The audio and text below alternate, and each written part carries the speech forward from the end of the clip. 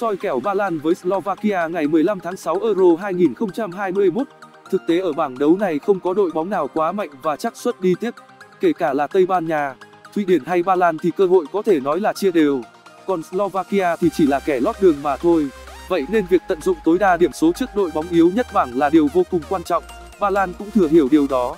Ba Lan hiện tại không sở hữu đội hình quá đồng đều và nhiều cầu thủ nổi bật. Tuy nhiên họ vẫn thi đấu rất ổn định trong thời gian vừa qua, đặc biệt là với sự xuất hiện của tiền đạo xuất sắc nhất thế giới hiện tại là Lewandowski. Ba Lan hoàn toàn có thể hủy diệt Slovakia. Họ đã thắng Andorra 3-0, trong đó Lewandowski cũng có riêng cho mình một cú đúp.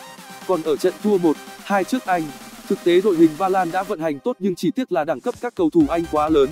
Trở lại với Slovakia khi họ xuất hiện tại giải đấu này thôi đã là rất tích cực rồi. Thành tích đối với họ thực sự không quá quan trọng. Đáng tiếc rằng bảng đấu này lại có 3 đội bóng còn lại quá đồng đều và thật khó để Slovakia kiếm được dù chỉ một điểm. Chúng ta nên đánh giá họ qua màn trình diễn chứ không qua kết quả. Người hâm mộ nên dễ tính hơn với Slovakia. Kèo nhà cái Ba Lan với Slovakia. Khá ngạc nhiên khi nhà cái lại chỉ để Ba Lan chấp kèo có 0.5 trái trong trận đấu này tức cứ thắng với tỷ số tối thiểu là đã ăn tiền rồi. Và với sự khác biệt về đẳng cấp giữa hai đội bóng này, không có lý do gì để chúng ta phải nghi ngờ vào chiến thắng của Ba Lan cả. Soi kèo tài xỉu Ba Lan với Slovakia. Tỷ lệ tài xỉu đã được nhà cái giảm xuống còn 2 trên 2.5 trái, nhưng đây là con số hợp lý. Đây là trận gia quân tại Euro của cả hai đội.